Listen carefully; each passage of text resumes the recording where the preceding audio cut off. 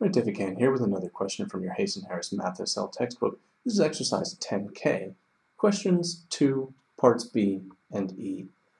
And uh, hang in there because I picked some, some tough questions for this one. Uh, this might take a little while. Um, in fact, I might even split it into two parts. So we'll start with, with part B. Um, we want to solve this equation, which means we want to solve this for x. That means we either, either need to cancel or combine these two expressions. At first, it looks like they're both cosines, so it's just 4 cosine of x. But be careful.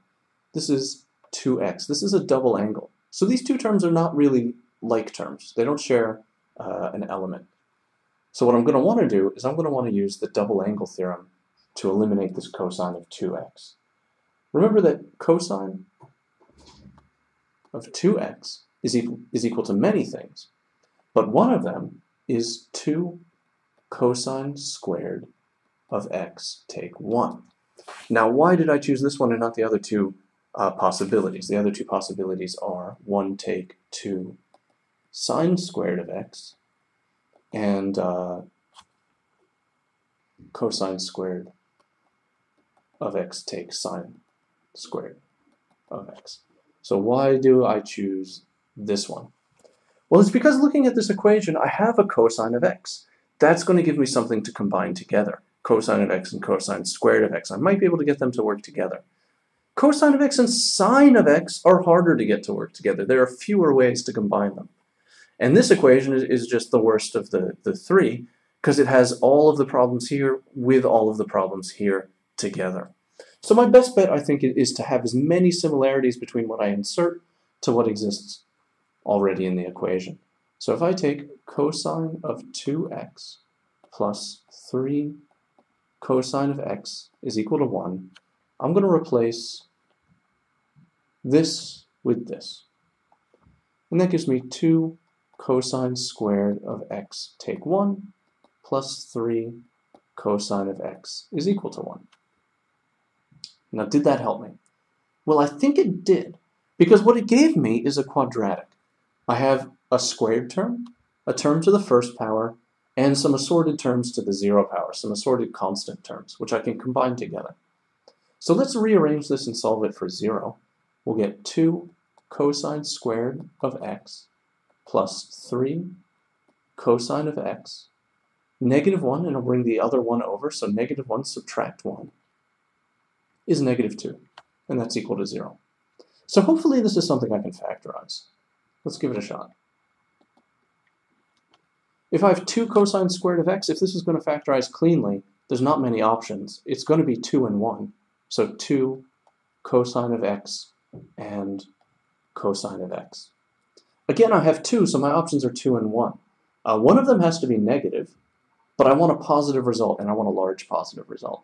So that means I want to multiply this positive 2 by a positive 2 over here.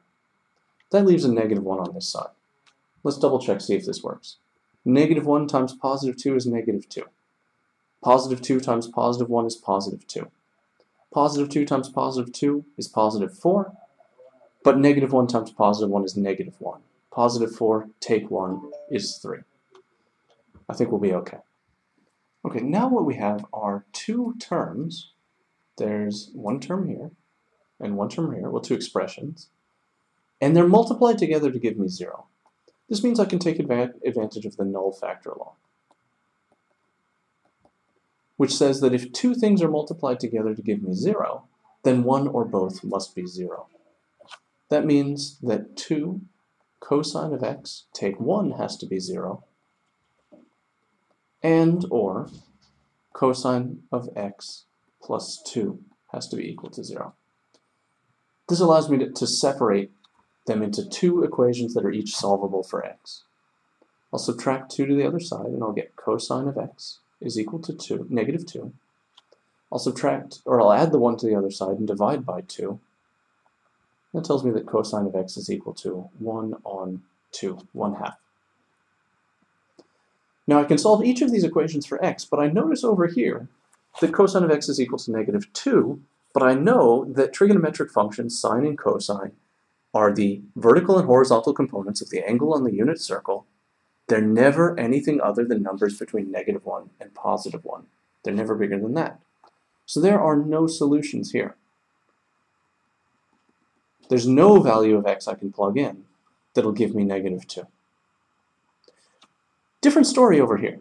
Different story over here. Cosine of x is equal to 1 half. I'm going to draw out the unit circle, and that'll help me pick my values. If cosine of x is equal to 1 half, that means I'm going halfway out on the unit circle. So all the way out is 1, halfway out is half. I'm looking for angles that have this horizontal component. One of them is here, and the other one is here. Now remember that x has to be between 0 and 2 pi. That's what was given to me at the very beginning of the question, all the way up here. So there aren't infinite solutions to this question. There's just the first rotation, which is pi on 3, and this first rotation out to here, which is 5 pi on 3. I can't keep going around and around because I'm limited to one positive rotation. I think I'll pause it here, start another video for part 2. I'll see you there.